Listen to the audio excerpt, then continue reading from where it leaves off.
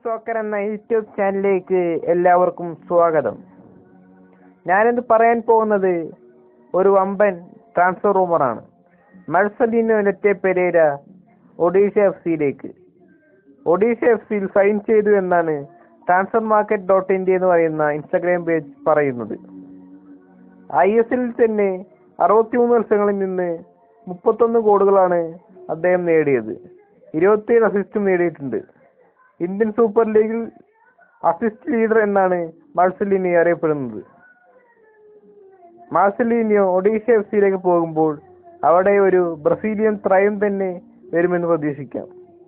ഈ വീഡിയോ ഇഷ്ടപ്പെട്ടാൽ ലൈക്ക് ചെയ്യാനും സബ്സ്ക്രൈബ് ചെയ്യാനും മറക്കരുത്. അപ്പോൾ അടുത്ത വീഡിയോ കാണാം.